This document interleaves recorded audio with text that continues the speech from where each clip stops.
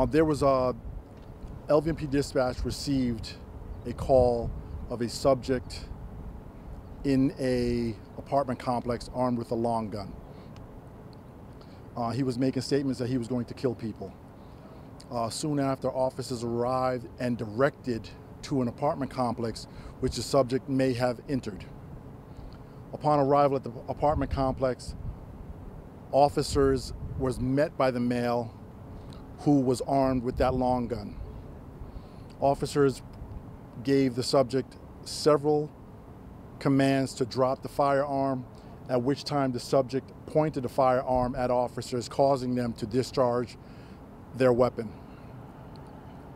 The subject was struck, medical was called and responded to the scene, and the subject was later deceased, was sorry, the subject was later pronounced deceased on scene. No officers were injured during this event.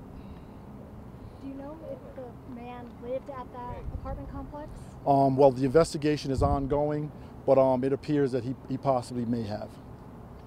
And when officers were called, did he point the rifle at the officers or was it a different type of gun? It was the same, um, it was a long gun. Um, the investigation is ongoing, but he did point a long gun at the officers. And how many officers fired their? Um, that investigation is still ongoing, so we'll, we'll provide you that at a later time. Was he a resident at the complex, or was he able to gain access through security doors, or? As I stated, as I stated before, it was it's unknown if he really truly lives at the apartment complex. And then did that subject fire his weapon at all? Um, the investigation, like I said, is ongoing, so we don't really know at this time. What would be your? Thank you guys, and have a wonderful day.